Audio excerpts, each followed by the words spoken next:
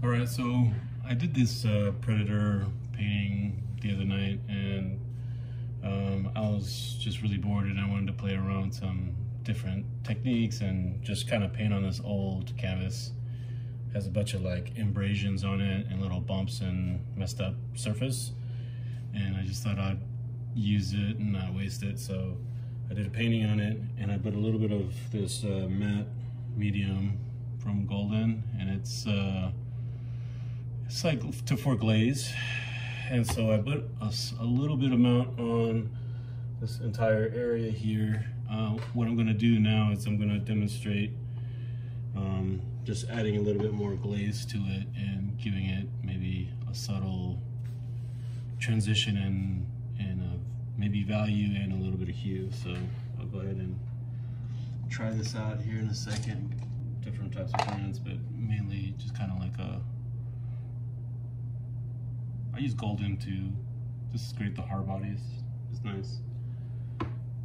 Um, I'm gonna kind of mix blend in a little bit here first, and I'm gonna use the a generous amount of medium. Um, pouring it now on my, my glass palette. And with this stuff, you gotta like, gotta really clean the, the cap part because if you don't, it's really hard to open later, as I've learned over the few times that I've played with it. I'm gonna start with the phthalo blue, and I'm I'm literally just kind of dabbing the brush, just a little, you know, like a. It's not all the way through. It's just kind of on one surface. I'm gonna spray with water. It's really warm in my garage today, and I'm just gonna spray spritz think is the phrase. Give a little spritz uh, to the blue right now, and I'm just gonna give a large amount of this medium with a dab of the uh, acrylic.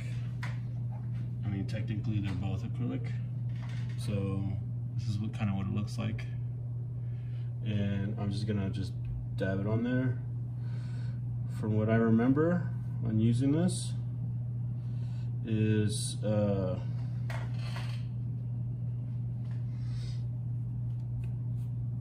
don't go over an area more than once or twice laying down this medium and just see what's gonna happen here.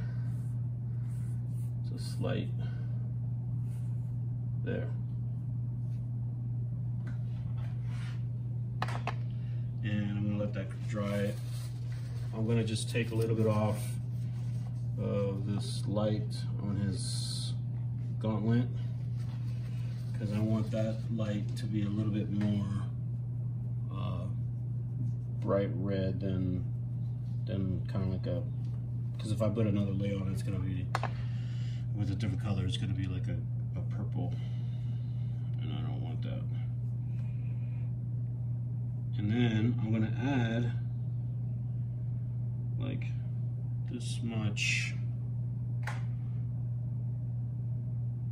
alizarin, alizarin crimson, alizarin crimson uh, to the phthalo blue to create a purple. I like the purple ranges with the uh, alizarin crimson versus like let's say like a cadmium cadmium red medium or whatever um, it feels like it's just a little deeper a little deeper uh, violet red or violet blue. And uh, I'm mixing right now I have a large portion of this medium.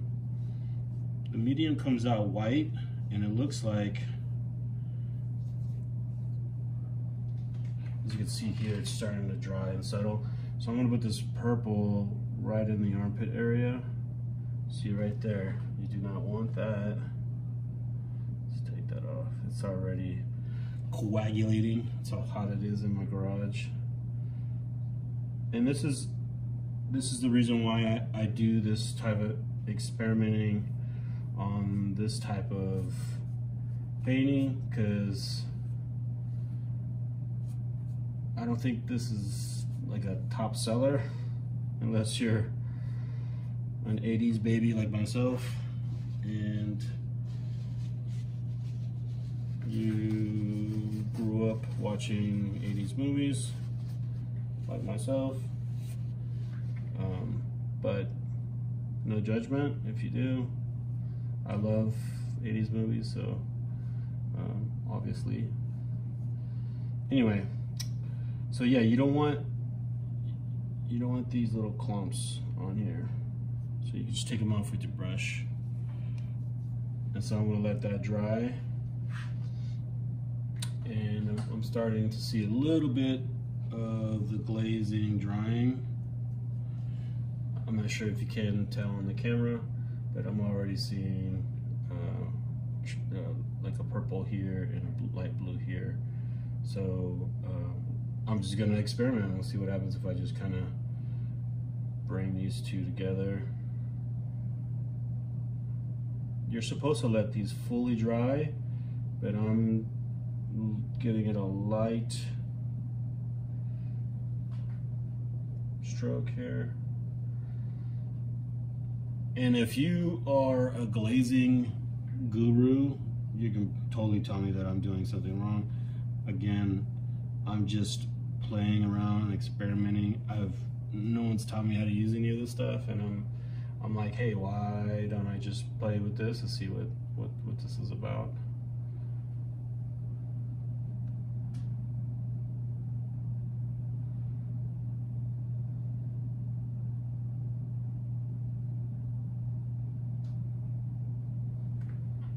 Kind of want uh, this purple this babe color. It's a reference, 80s reference there if you didn't catch that one from Hanna-Barbera. Just kind of dated myself, it's all good.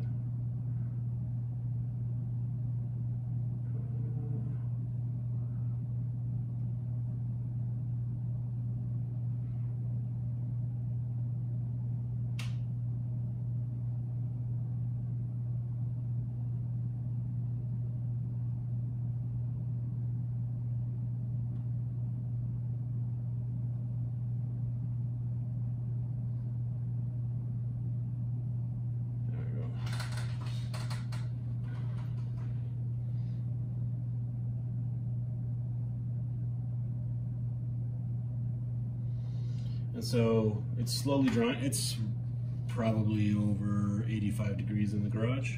So this is actually a really good place for this kind of experimenting to happen. Um, to get even more of a faster dry time, I, I, should open up the garage door and just let this kind of like breeze come in and out.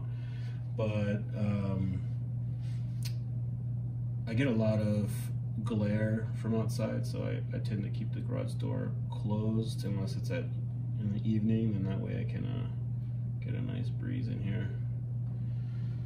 So yeah, just kind of want to share a simple little thing. Uh, you can play around with any type of medium really. This stuff is like a is just basically pure acrylic, and uh, if you just pour it out on a table, it like will dry clear. So it's just melted, ready to dry plastic. I mean, I'm sure there's other stuff in there that I'm totally not aware of, but that's kind of how I, I view this stuff. And uh, you don't have to get golden. Like literally you can get the, even the cheaper stuff. Uh, I, I don't discriminate with supplies. Uh, this stuff is like, you can get this acrylics from like Michaels, you know, the, the, the Reeves or whatever. I've used all acrylics, so I don't discriminate.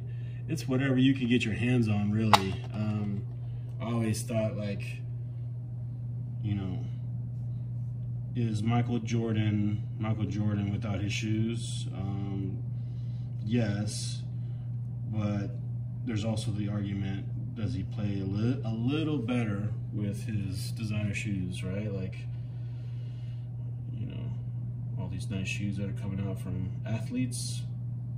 you know, they were athletes before these shoes, so you don't have to get the, the amazing stuff. You don't have to get the super expensive stuff. Like, uh, you know, you can get like really cheap brushes. Doesn't matter. If you practice and you get skills down on paper, you can handle you can handle any medium or uh, material. So there you go. Just thought I'd share that with you.